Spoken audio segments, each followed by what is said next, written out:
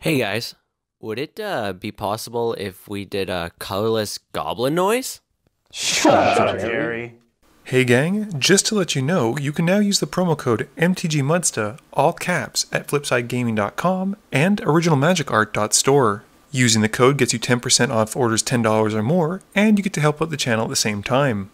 I also want to let you know that Flipside Gaming will be giving away a box of War of the Sparks. From April 1st through May 6th, any order that's over $10 or more will get you entered to win. One entry per person, so good luck and have fun. Welcome back, my lovely viewers. Today's game was filmed at Platinum Star Games in Howell, New Jersey. I feel I should also mention that I no longer live in New Jersey and now currently reside in Ottawa. We've got Dean, who's going to be referred to as Dean J for the game, returning with his Michiko deck, and he keeps a Mesa Enchantress, Nevermore, Heliod God of the Sun, Cage Sun, Soul Ring, Plains, and Emeria the Sky Ruin. I have borrowed Joe's Tuvasa deck, and I keep a Simic Growth Chamber, a Ghostly Prison, In Bolas's Clutches, Fortified Village, two Forests, and a Verduran Enchantress. Dom seems to like to play a bunch of the same creature in his deck, and he's playing Marrow-Gnawer, keeping a Thornbite Staff, Soul Ring, two Swamps, two Rat Colonies, and Hero's Downfall. Lastly, we have one of the store owners, Dean, playing his Mirri Weatherlight Duelist, and he keeps a Plains, three Forests, March of the Multitudes, Vivien Reid, and Oath of Gideon. Dean wins the die roll and starts us off. Dean plays a Plains and passes. I play a Fortified Village and I pass to Dean J.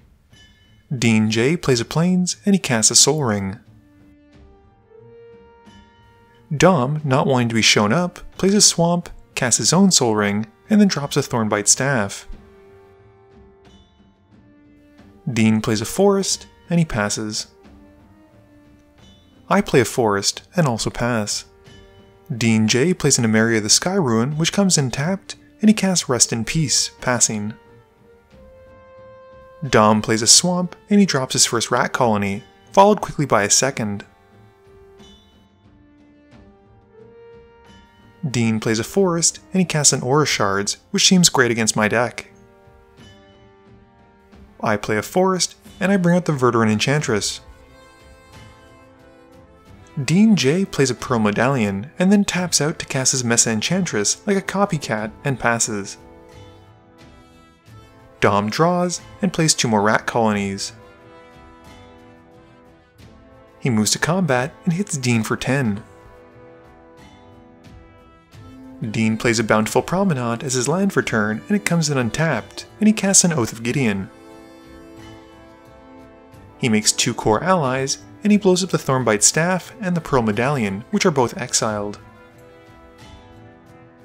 I haven't drawn a land yet, so I cast a Ghostly Prison, drawing from my Enchantress trigger. I do manage to find a Krosan Verge, playing it tapped, and I pass to Dean J.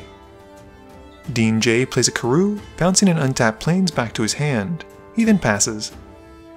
Dom plays another Swamp, and he casts Marrow-Gnawer. He then moves to combat, and it's kind of scary how he's got 20 power on the board with just a few rats. He sends 10 at each Dean, and both of them just take it. Dean plays a Forest, and he casts Vivien Reid in his main phase. He upticks her, and he reveals a Selesnya Evangel, and he passes. I draw for turn, and I crack the Verge. I grab a Prairie Stream and a Canopy Vista as my Plains and Forest respectively.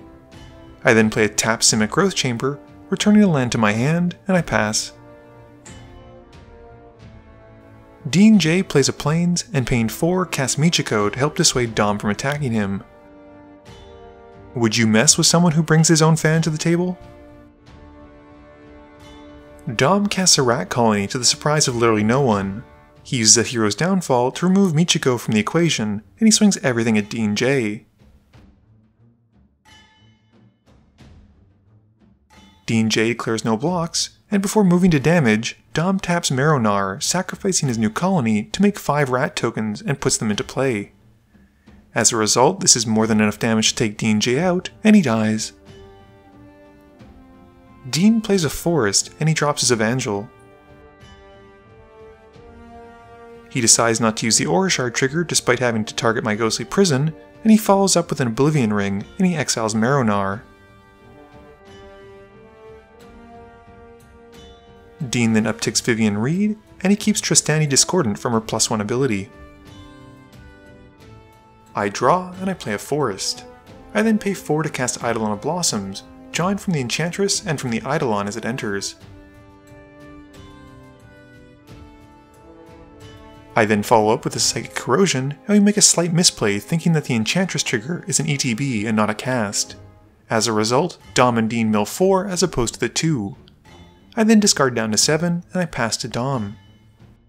Dom draws, and he casts Phyrexian Reclamation.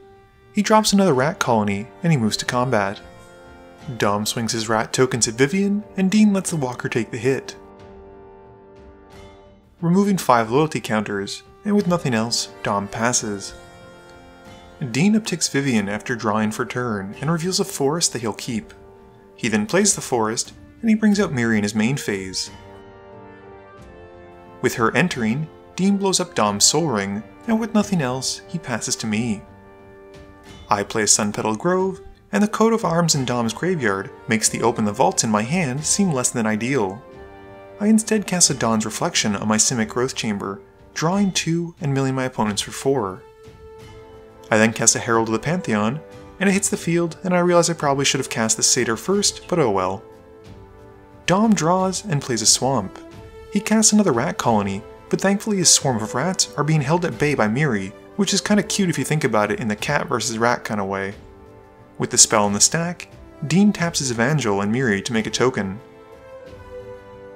Dom can still attack me because Mirri's ability only protects Dean, but the Ghostly Prison will make it cost more than Dom really has. Dean puts the Saproling token onto the field, and I realize I've spoken too soon as he uses his Aura Shards trigger to blow up the Ghostly Prison. Moving to combat, Dom swings one rat colony at Dean, and three rat colonies at me. I declare no blockers, while Dean blocks with one of his Kor allies. Before moving to damage, he taps his tokens and remaining lands to cast a March of the Multitudes, gaining 3 soldier tokens with lifelink. He blows up the Phyrexian Reclamation, which Dom activates in response to get back a rat colony, my Psychic Corrosion, and Dean's own Oblivion Ring. I then take the hit and drop to 4, and Dom passes turn. Dean untaps and draws for turn. He upticks Vivien again and reveals a Kazandu Tuskcaller for her ability. Dean then plays a forest, and we see a Trostani Discordant gaining him more soldiers as she enters. Moving to combat, he swings Mirri and the tokens who are able to attack at Dom. Dom blocks Mirri with one of his rats, and he takes 8 with Dean gaining 4 from his lifelinking soldiers. I play a tapped Path of Ancestry and I cast Enchantress's Presence, drawing on cast and as it enters, and gaining 1 life from the Herald. I then tap only my Simic Growth Chamber to cast a Retether and I bring back Angelic Destiny, attaching it to my Eidolon. I draw from the Eidolon and think about attacking until I realize it doesn't have Vigilance, so I pass turn. Dom casts two more rat colonies and swings one at each of us. I block with the Eidolon, while Dean blocks with the Soldier token and gains 2 life. Dean once again activates Vivien and reveals a Plains, putting it to hand. He plays it as his land for turn, and he heads to combat. He swings everything he has at Dom, who blocks once more with a rat token on Mirri. He then takes 12 while Dean gains 8. Dean then casts a Soul Ring, and then the Kazandu Tuskcaller, who upon entering, blows up my Enchantress's presence with the Aura Shards trigger. I play a Plains and use In Bolas's clutches to steal Aura Shards. Dom asks why I don't grab Mirri, but I'm more concerned with the shards blowing up my board at this point. I draw two cards and gain one life from doing so. I then cast Unquestionable Authority, which gets stuck onto the Eidolon, and I draw three cards this time, gaining one more life. It seems like no matter what I do at this point though, I'll die to whoever's left over from the swing back, and I cast a SRAM who comes in, blowing up Dean's Oath of Gideon before passing. Dom draws, and plays a non-rat colony card this turn in the form of a pack rat. He then swings one of the colonies at Dean, who before moving to blockers, makes another sapling token with Evangel and blocks with it. Dean draws and heads to combat. He swings Mirri and the three soldiers at Dom and the Saproling and Kor at me. Dom blocks Mirri with his huge pack rat and takes 6, while I block 1 token and take 2. In his second main phase, Dean recasts Mirri and then upticks Vivien. He reveals a survivor's encampment and puts it to hand. Dean then casts the Llanowar elves and he passes. I play a tapped Razorverge Thicket and I cast a Rancor onto the Eidolon, drawing 3 cards and gaining 1 life. I then get to cast Octopus Umbra, gaining 1 more life and drawing 3 more. Shield of the Oversoul then graces the battlefield on the Eidolon, giving me 1 more life and drawing me 3 more cards. I also get to cast my new favorite enchantment, Estrid's Invocation, and have it become a copy of the Angelic Destiny, giving me another life, and drawing me 3 more cards as I enchant the Eidolon again. At this point, I've drawn a bunch of lands and 0 board wipes, and I decide to count up how big the Eidolon is. It's about 20 power with flying, indestructible, first strike, and trample, but I need lifelink. I'm happy to cast an Armadillo Cloak onto the Eidolon, drawing 3 more cards and gaining another life. Moving to combat, I swing the Eidolon at Dean, but he has a Krosan Grip ready to take up my Armadillo Cloak. The silver lining is I get to tap Mirri though, and Dean still takes 20 damage, but I gain no life. I then pass to Dom. Dom draws and taps two rats and four lands to cast an Obelisk of Urd, naming rats as it enters.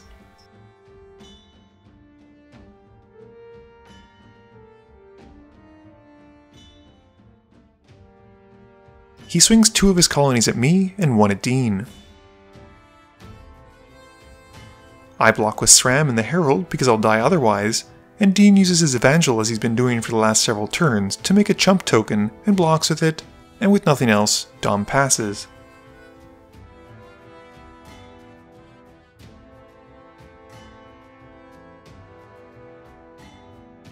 Dean draws and upticks Vivien, revealing a copy of Ovia Pashiri, Sage Lifecrafter, and he puts her to hand.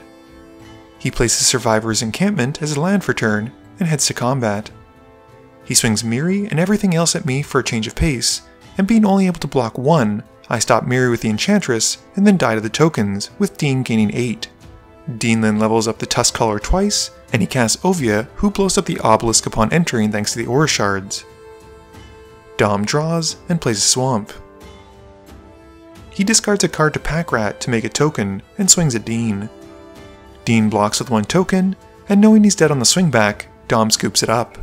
Game review time. So, as awful as it was for Dean J to be the first person to be taken out, I think it was probably the right move on Dom's part to do so. Everyone else was playing a very combat centric deck, whereas Dean J seemed to be playing more of a mono white control build. He was probably the most likely to have an impact on people swinging and also be running the most board wipes. Unfortunately, though, Dom's go wide strategy kind of faltered against Mirri. I'd never seen a Mirri deck before, so it was interesting to see how she affected the battlefield. I didn't realize how strong her abilities were for attacking and blocking, and I'm glad I got to see a good build of it in action. Joe's Tuvasa deck often has me wondering about my Zedruu deck, and whether or not red or green is the superior Enchantress color. I know green offers you a lot more draw and protection, but red finds me tutors and lots of fun spells like Sunbird's Invocation, so it's a hard toss up in the air. I also find that Tuvasa tends to be built more around a Voltron style, whereas I've got my Zedruu deck more as a control enchantment based deck. Please be sure to tune in every Monday and Thursday at 11 a.m. Eastern Standard Time for a guaranteed new video. You can also follow me on Twitter at MTGMuddstah. You can find me on Facebook at facebook.com slash mtgmuddstah. And lastly, you can check me out when I stream at twitch.tv slash mtgmuddstah. This video is brought to you in support by my patrons. If you're looking for a way to help out the channel, please be sure to visit the link below. Thank you all for watching this video, and don't forget, friends are just opponents you haven't eliminated yet.